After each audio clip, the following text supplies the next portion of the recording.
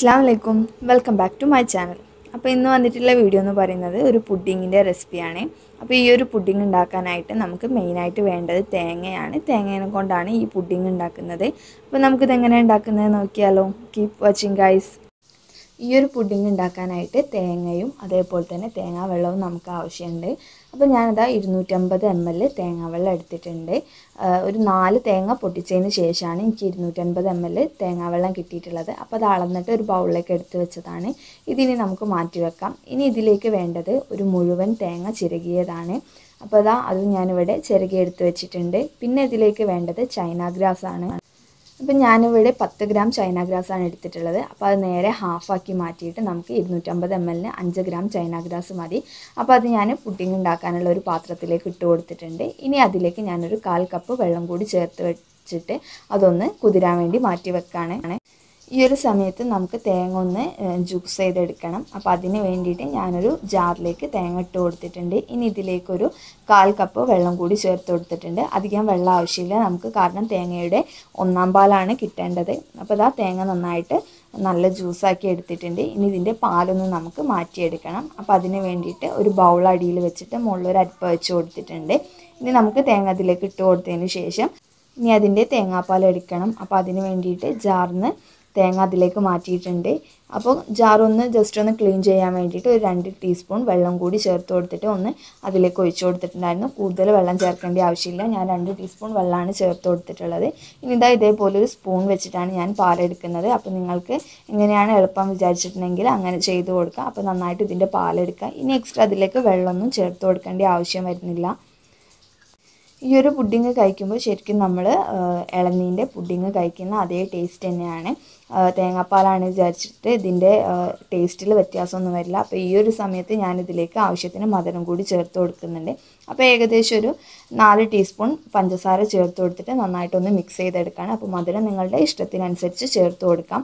ഇനി ഇതൊന്ന് തണുപ്പിക്കാൻ വേണ്ടിയിട്ട് ഞാൻ ഫ്രിഡ്ജിലോട്ട് മാറ്റാണ്. ഈ ഒരു സമയത്ത് ചൈന ഗ്രാസ് നന്നായിട്ട് കുതിർന്ന് വന്നിട്ടുണ്ട്. അപ്പോൾ ഒരു ഫോർക്ക് ഉപയോഗിച്ച് നന്നായിട്ടൊന്ന് ഇളക്കി കൊടുക്കുകയാണ്.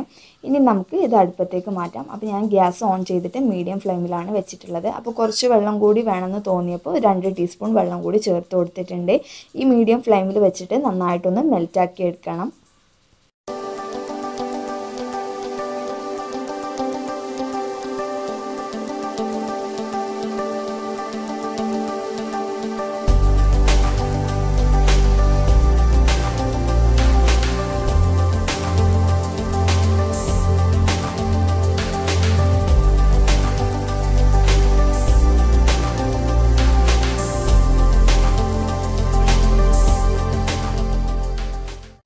ഈ ഒരു സമയത്ത് ചൈന ഗ്രാസ് നന്നായിട്ട് മെൽറ്റായി വന്നിട്ടുണ്ട്. അപ്പോൾ ഇത് നന്നായിട്ട് ഇളക്കി കൊടുത്തതിന് ശേഷം അതിലേക്ക് നേരത്തെ എടുത്ത് വെച്ചിട്ടുള്ള തേങ്ങാവെള്ളം കൂടി ചേർത്ത് കൊടുത്തിട്ടുണ്ട്.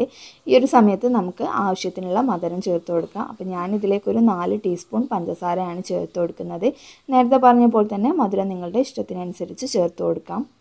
പഞ്ചസാര ചേർത്ത് കൊടുത്തതിന് ശേഷം സ്പൂൺ വെച്ചിട്ട് നന്നായിട്ടൊന്ന് മിക്സ് ചെയ്ത് കൊടുക്കണം. കാരണം നമുക്കിത് പഞ്ചസാര മെൽറ്റായി കിട്ടുന്നവരെ വെയിറ്റ് ചെയ്തിട്ടുണ്ടെങ്കിൽ നമ്മുടെ ഈ ഒരു തേങ്ങാവെള്ളം തിളയ്ക്കാനുള്ള സാധ്യത ഉണ്ട് തിളച്ച് കഴിഞ്ഞിട്ടുണ്ടെങ്കിൽ ഇതിന്റെ ടേസ്റ്റ് മാറും. അപ്പോൾ നമുക്ക് കറക്റ്റ് തേങ്ങാവെള്ളത്തിന്റെ ടേസ്റ്റ് കിട്ടണം എന്നുണ്ടെങ്കിൽ ജസ്റ്റ് ഒന്ന് ചൂടായാൽ മാത്രം മതി. അപ്പോൾ അതുകൊണ്ട് തന്നെ നന്നായിട്ട് ഇളക്കി കൊടുത്തിട്ട് നമ്മൾ പഞ്ചസാര മെൽറ്റ് ചെയ്തെടുക്കേണ്ടതാണ്. ഈ ഒരു സമയത്ത് നമ്മുടെ ചൈന ഗ്രാസും പഞ്ചസാരയും എല്ലാം തേങ്ങാവെള്ളത്തിൽ നന്നായിട്ട് മിക്സ് ആയിട്ടുണ്ട്. അപ്പോൾ ഇത്രയും മതി. അപ്പോൾ നന്നായിട്ട് ചൂടായി വന്നിട്ടുണ്ട്. ഇനി നമുക്കിത് ഫ്ലെയിം ഓഫ് ചെയ്തിട്ട് ഇതൊന്ന് മാറ്റി വെക്കണം. ഫ്ലെയിം ഓഫ് ചെയ്തതിന് ശേഷം നന്നായിട്ടൊന്ന് ഇളക്കി കൊടുക്കുക. അതിന്റെ ചൂടൊന്ന് നന്നായിട്ട് മാറാൻ വേണ്ടിയിട്ടാണ്. അപ്പോൾ അതിന് ശേഷമാണ് നമ്മൾ പുഡിങ് ഏത് പാത്രത്തിലാണോ സെറ്റ് ചെയ്യുന്നത് അതിലേക്ക് മാറ്റുന്നത്. അപ്പോൾ നല്ലൊരു പരന്ന പാത്രം എടുക്കുന്നതായിരിക്കും എപ്പോഴും നല്ലത്. അപ്പോൾ ഞാൻ ഇങ്ങനത്തെ ഒരു സ്റ്റീലിന്റെ പ്ലേറ്റാണ് എടുത്തിട്ടുള്ളത്. അപ്പോൾ അതിലേക്ക് നമ്മൾ ഉണ്ടാക്കി വെച്ചിട്ടുള്ള പുഡിങ്ങിന്റെ മിക്സ് ചേർത്ത് കൊടുക്കുകയാണ്. ഇനി നമുക്കിതൊന്ന് നന്നായിട്ട് ചൂട് മാറാൻ വേണ്ടിയിട്ടൊന്ന് വെയിറ്റ് ചെയ്യാം. നല്ലോണം ചൂട് മാറി നല്ല ജെല്ലി ആയിട്ട് വേണം നമുക്കിത് ഒന്ന് കട്ട് ചെയ്തെടുക്കാനായിട്ട്. നിങ്ങൾക്കിത് ഫ്രിഡ്ജിൽ വെച്ച് സെറ്റ് ചെയ്യണമെന്നുണ്ടെങ്കിൽ നല്ലോണം ചൂട് മാറിയതിന് ശേഷം മാത്രം ഫ്രിഡ്ജിലോട്ട് മാറ്റാം. അപ്പോൾ ഞാനിത് ഫ്രിഡ്ജിൽ വെച്ചിട്ടല്ല സെറ്റ് ചെയ്തിട്ട് പുറത്ത് വെച്ചിട്ട് തന്നെയാണ്. ഏകദേശം ഒരു ഒരു മണിക്കൂർ വെച്ചിട്ടുണ്ടായിരുന്നുള്ളൂ. അപ്പോൾ ഇതൊന്ന് കട്ട് ചെയ്തെടുക്കണം. അപ്പോൾ ഒരു ക്യൂബ് രൂപത്തിലാണ് ഞാൻ കട്ട് ചെയ്തെടുക്കുന്നത്. അതായത് സ്ക്വയർ രൂപത്തിൽ. അപ്പോൾ ജസ്റ്റ് ഒന്ന് ഇങ്ങനെ ഇതേപോലെ ഒന്ന് രണ്ട് ഭാഗത്തും അങ്ങനെ ആക്കിയിട്ട് വരഞ്ഞു കൊടുക്കുകയാണ് ചെയ്യുന്നത്. അപ്പോൾ നേരത്തെ തേങ്ങാപ്പാൽ ഞാൻ പഞ്ചസാര ചേർത്തത് ഫ്രിഡ്ജിലോട്ട് മാറ്റിയിട്ടുണ്ടായിരുന്നു. അത് പുറത്തെടുത്തിട്ടുണ്ട്. അപ്പോൾ അതിലേക്ക് കട്ട് ചെയ്തത് ഇട്ട് കൊടുക്കുകയാണ് അപ്പോൾ ഈ ഒരു സമയത്ത് ഞാൻ തേങ്ങാപ്പാൽ എടുക്കാൻ വേണ്ടി പോയപ്പോൾ ആമിമോളൊന്ന് ടേബിളിന്റെ മുകളിലൊക്കെ കയറി കത്തി കൊണ്ടൊന്ന് ഇളക്കി കൊടുത്തിട്ടുണ്ടായിരുന്നു. അപ്പോൾ ആ ക്യൂബും ജസ്റ്റ് ഒന്ന് പൊടിഞ്ഞു പോയിട്ടുണ്ട്. അപ്പോൾ ഇതാ നമ്മുടെ പുഡിങ് ഇവിടെ റെഡി ആയിട്ടുണ്ട്. ഇനി ഇത് നമ്മൾ ഏതെങ്കിലും ബൗളിലേക്കോ ഗ്ലാസ്സിലേക്കോ സെർവ് ചെയ്യണം. അപ്പോൾ ഞാനിതൊരു ജ്യൂസ് ഗ്ലാസ്സിലേക്കാണ് സെർവ് ചെയ്തിട്ടുള്ളത്. അങ്ങനെ നമ്മുടെ കോക്കനട്ട് പുഡിംഗ് ഇവിടെ റെഡി ആയിട്ടുണ്ട്. വളരെ സിമ്പിളാണിത് ഉണ്ടാക്കാനായിട്ട്. ട്രൈ ചെയ്യാൻ പറ്റുന്ന എല്ലാവരും ഒന്ന് ട്രൈ ചെയ്ത് നോക്കുക. പിന്നെ എപ്പോഴും പറയുന്ന പോലെ തന്നെ ഇന്നത്തെ എന്റെ വീഡിയോ നിങ്ങൾക്ക് എല്ലാവർക്കും ഇഷ്ടമായെന്ന് വിചാരിക്കുന്നു.